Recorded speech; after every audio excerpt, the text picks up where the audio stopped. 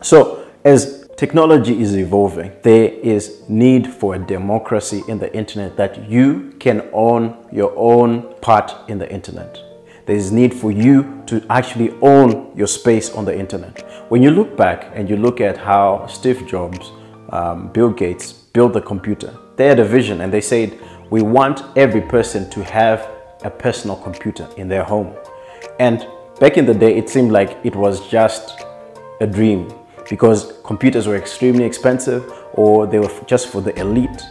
But 20, 30 years later, guess what? Everyone had a PC. But there's a future in the internet called the metaverse.